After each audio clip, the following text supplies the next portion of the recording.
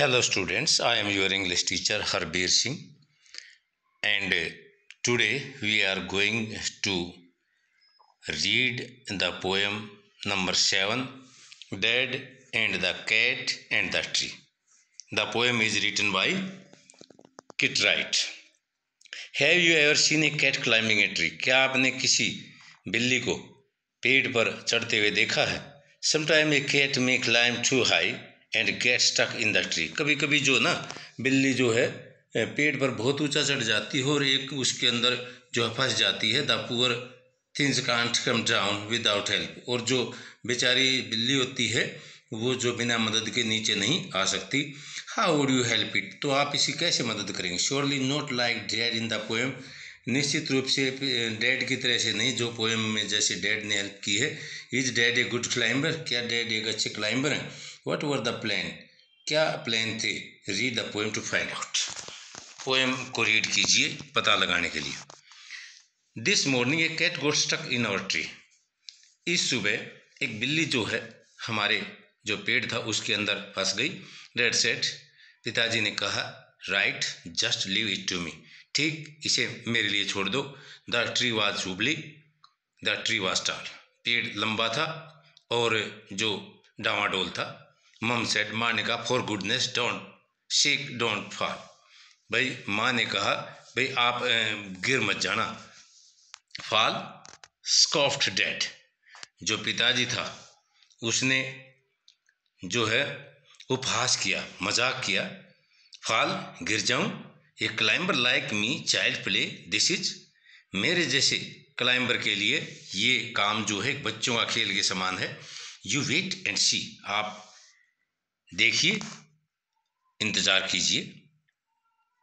He got out the ladder from the garden shed वह जो garden का जो छप्पर था, जो बागीचे के अंदर एक सेट था, उससे एक सीढ़ी लेकर आया।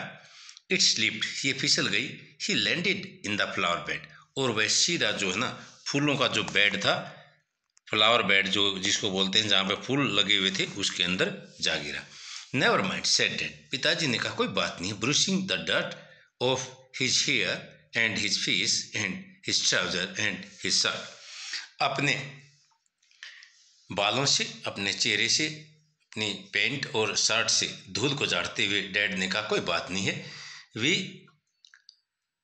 shall try plan B stand हम जो है प्लान बी स्टार्ट करते हैं। Stand out of the way mum said don't fall again okay माँ जो थी, अब थोड़ा सा दूर खड़े थे, रास्ते से जो मम थी, उसने कहा डोंट फॉल अगेन फिर से मत गिर जाना। Okay fall again said dad पिताजी ने कहा, फिर से गिर जाना। Funny joke. जोक जो आपका बड़ा फनी है।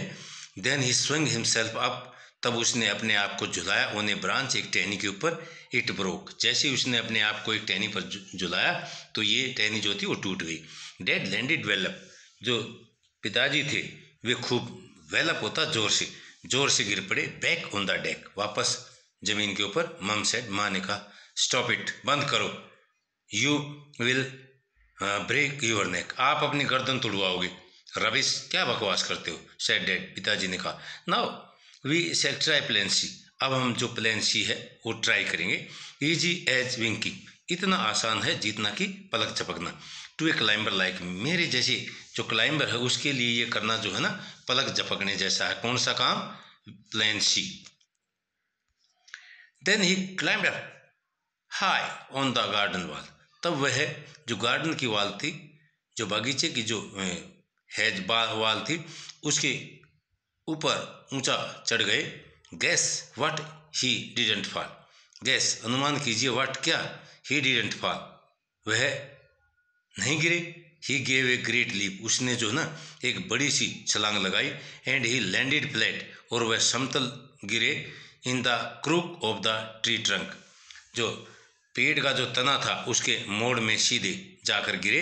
राइट ऑन द कैट ठीक बिल्ली के ऊपर। The cat gave a yell जो बिल्ली थी, उसने चीख लगाई and sprang to the ground और ज़मीन के ऊपर कूद गई। Pleased as punch to be safe and sound और वह खुशी से सुरक्षित जो है, पहुँच, ज़मीन के ऊपर पहुँच गई। So it is smiling and smirking इसलिए ये कैसा था? Smiling and smirking smug as can be ये जो है, जो उसकी हँसी थी, ये काफ़ी बनावटी मुस्कान थी।